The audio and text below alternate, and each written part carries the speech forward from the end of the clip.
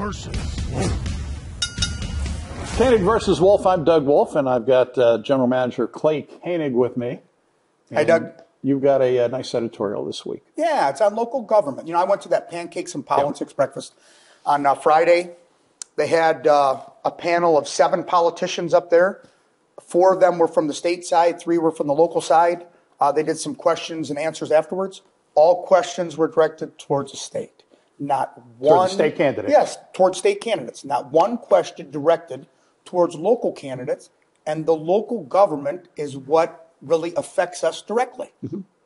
Well, let's take local government because, like, as far as like the local local government, down even further than you were at, uh, mayor, city council, park district, school boards.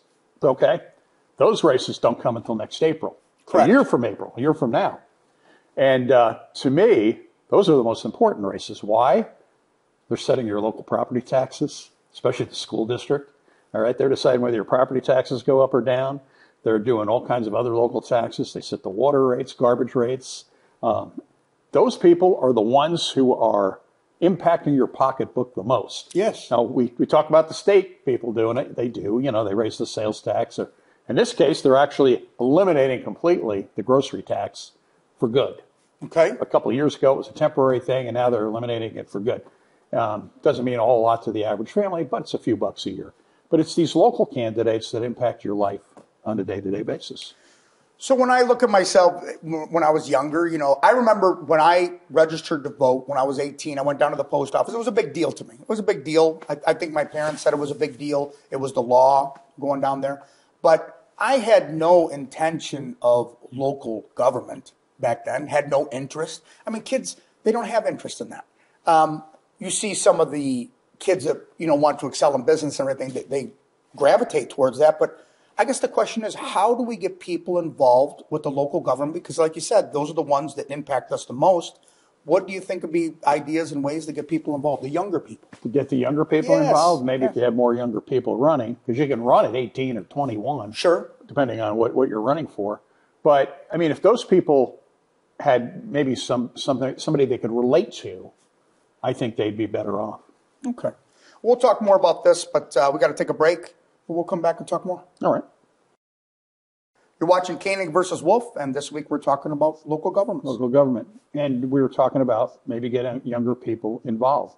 You made a good point in your editorial that if even if you just go and sit as a poll watcher on election day, you have to go to your county clerk's office and sign up, and they'll train you how to do it. Yeah. it's a one day job. Election judge. 150 bucks for the day. $150. How is there not a line of people out the door for the clerk's office? They don't know it's 150 bucks. I'll bet. Well, we've covered that story. Have you ever done any election judges or anything like that? I can't because of my job here. Understood. Understood. And Yeah. since I was old enough to vote practically, I've been here. On and off, but here. So, but you have local politics in your family, of course. I do, All right. yeah. So, how did that come about? How did she come about? I know the story, the background story, but her interest and you know continue to run. She does a fabulous job. Thank You know. She uh, wanted to run for city council. So she did. And uh, did very well in her first time out. I think she was second out of the balloting.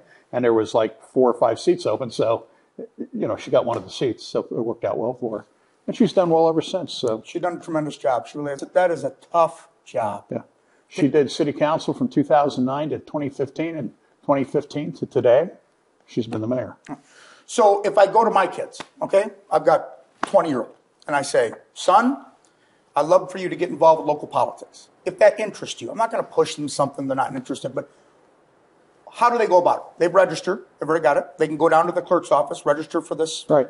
for this one Well, day you have a, event. you- if you're running for office, they have a, a period of time where you have to get signatures on a petition. correct?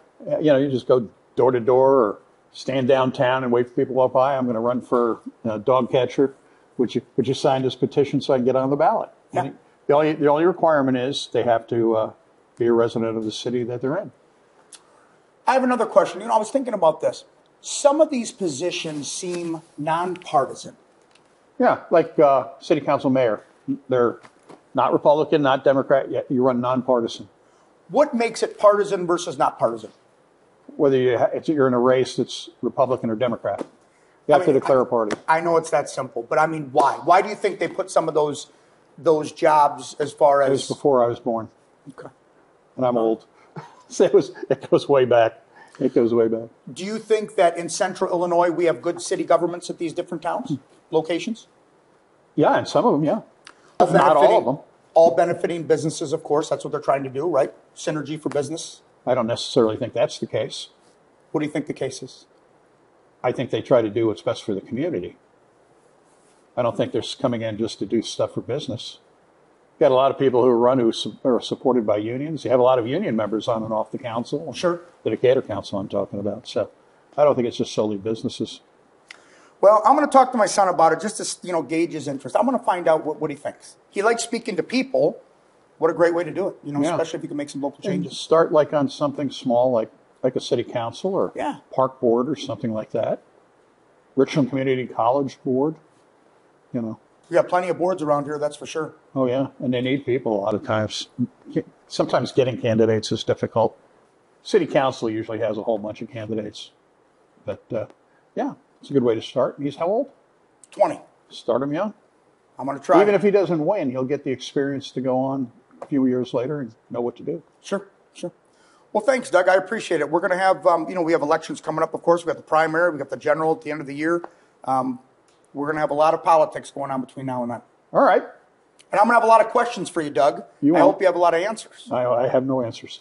You're watching Koenig versus Wolfe, guys.